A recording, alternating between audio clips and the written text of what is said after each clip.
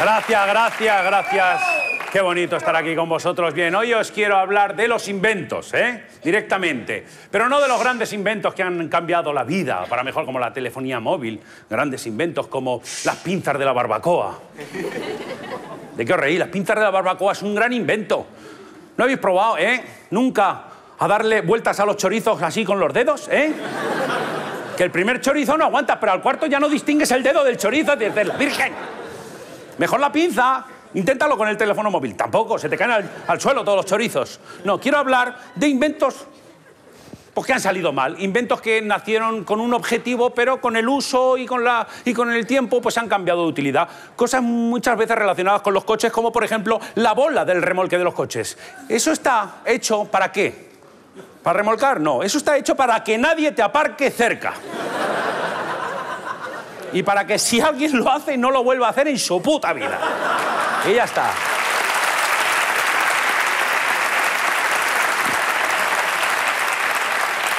Vamos. Esas bolas que vas a cruzar entre coches y te das ¡clac! en la tibia. ¡Ah! Ha roto más tibias eso que Goicochea, el del Bilbao. Virgen. Hay gente que tiene bola del remolque en el coche y no tiene remolque. ¿Eh? Claro que hay gente la verdad que son más solidarios con los vecinos y lo que hacen es envolver la bola del remolque con una pelota de tenis verde fosforito que se vea bien, ¿eh? Dices tú, qué bien, que eso si te das, vamos, jodes el coche de la misma manera, tienes que cambiar toda la vida, pero te ha quedado más redondito todo. Pero bueno, si hay un invento que a mí me parece mm, totalmente prescindible de nuestras vidas es el deporte. ¿Qué es eso del deporte? Eso es un invento del hombre. Vamos a ver, toda la vida se ha dicho que el hombre nace, crece, se reproduce, sí puede, y muere. No nace, crece, hace deporte, se reproduce y muere, no. Deporte lo hemos metido nosotros. ¿Para qué? Para amargarnos la vida. ¿Sabéis lo que es el deporte?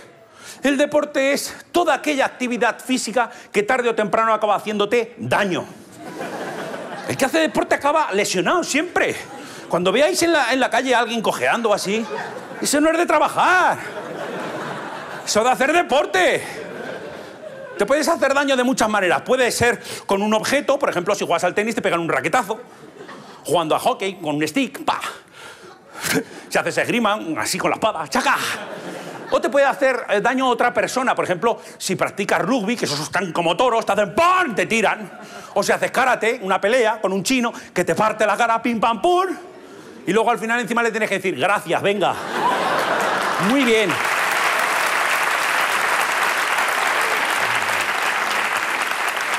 Me has dejado la nariz como un pimiento morrón, pero me lo he pasado muy bien. Qué noble es esto del deporte. Bien, vamos a definir qué es deporte y qué no es deporte. Para mí el deporte en solitario eso no es deporte. Eso es gente que no tiene amigos, ya está. ¿Qué es eso hacer deporte solo? ¿Tan locos? Yo cuando vuelvo a casa con mis amigos, ¿eh? un domingo por la mañana, estar toda la noche de fiesta, y veo a uno que va corriendo solo por la calle digo, ¿dónde vas? ¿Dónde vas? Vente con nosotros, loco que vamos a desayunar, churro. Vente.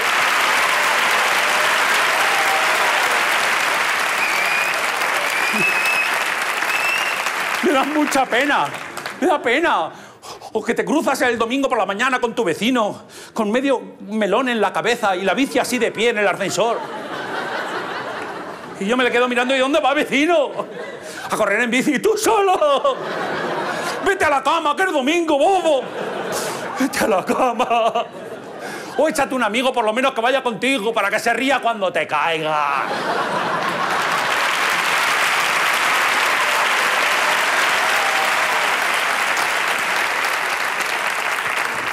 Porque te vas a caer. Si no, no llevarías casco. Está muy bien el deporte, bueno, para el que lo practica. Bueno, el deporte ya se crearon las Olimpiadas, los Juegos Olímpicos griegos en la Grecia clásica, pues ya empezó allí todo el follón este. Bueno, y al principio lo inventaron, pues, como lo inventan las cosas los griegos. ¿Y eso cómo fue? Pues pidiendo dinero, ¿eh? Ellos estaban allí, filosofando, a su rollo, qué coñazos, toda la caverna otra vez, vamos, estamos todo el día hablando. Vamos a jugar o algo, venga, vale. Eso juego hace falta dinero. Bueno, pues vamos a pedir. Se fueron a Germania, que estaban allí trabajando ahí haciendo su chucrut y sus cosas. Llegaron los griegos y dijeron, déjanos dinero. Y dijeron, ¿para qué? Para jugar. ¿Oh? Bueno, tomad. Pero devolvéndoslo pronto.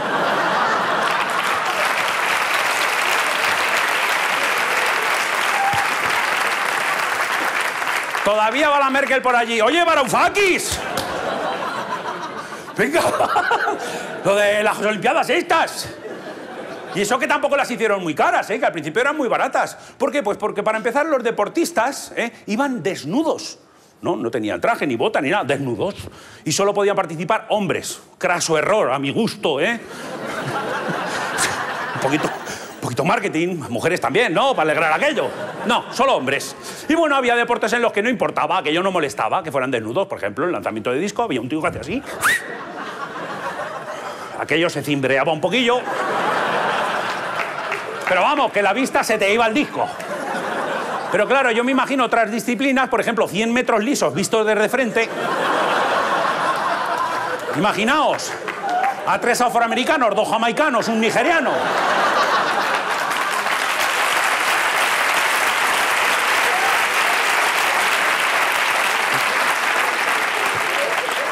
Y en la calle 8, un chino. Claro, tú ves aquello, ¡ay, voy, voy, voy, voy, voy, voy! Visto de frente dices, esto es un campo de lianas, ¿esto? ¿Qué pasa? ¿Quién ha ganado? No lo sé. Mira, pisaba latigazo, pisaba latigazo. Ha ganado este.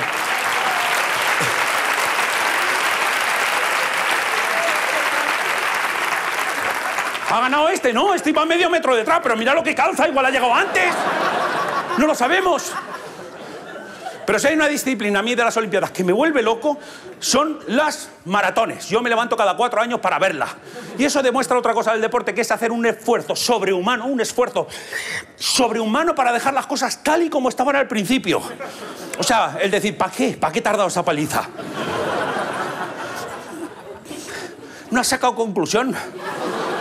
Vamos a ver, yo cada cuatro años me levanto, ¿eh? Me levanto a las 7 de la mañana de la cama, digo, voy a ver la maratón que me gusta a mí, ver cómo corre esta gente.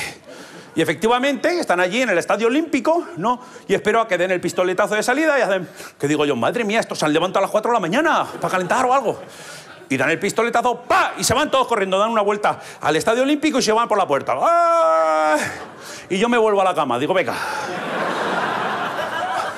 Y a las dos horas y media digo, ya estarán llegando. Y efectivamente están llegando al mismo estadio olímpico del que han salido, pero en un estado lamentable, ya, sí. ¿Qué es por otro lado? ¡Hostia! Ya, ya ha llegado.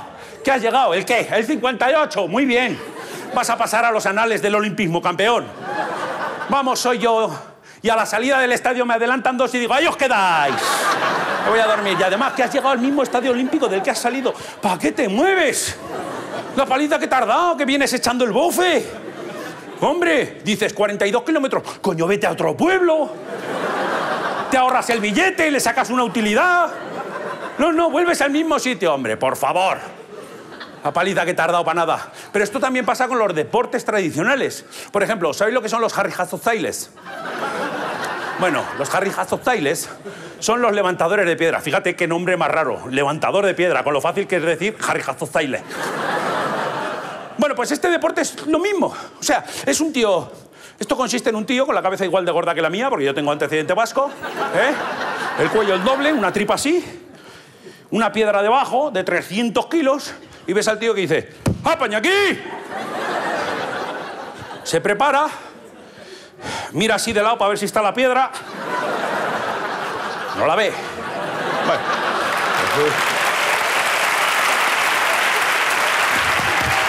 Apaña aquí. Se agacha, la coge, se la pone en la tripa. Descansa, se la pasa por las vértebras, que se la jode seguro. 300 kilos. Ahí va. Se la vuelve a apoyar en la tripa y hace ¡pum! ¡Apaña aquí! Y la deja donde estaba.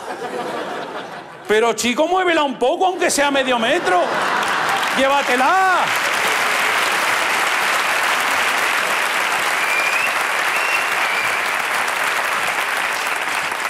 Coge la piedra, llévatela a la furgoneta, si te la tienes que llevar al caserío otra vez. Que claro, yo me imagino cómo inventaron este deporte tradicional vasco, que imagino que serían dos vascos yendo por el monte y diría uno, oye, Aitor, me acabo de inventar deporte tradicional vasco, bueno, bueno, ¿eh? Dice, así como es, venga, hacemos.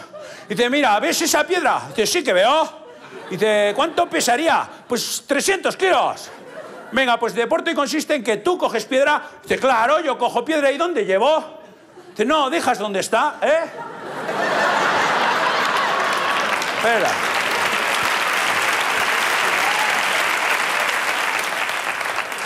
Pues no entiendo. Pues te explico, coges piedra, yo cojo piedra, pero ¿dónde llevo? Dice, no, dejas donde estás. Pues ¿para qué cojo? Pues lo convenció. en fin, amigos.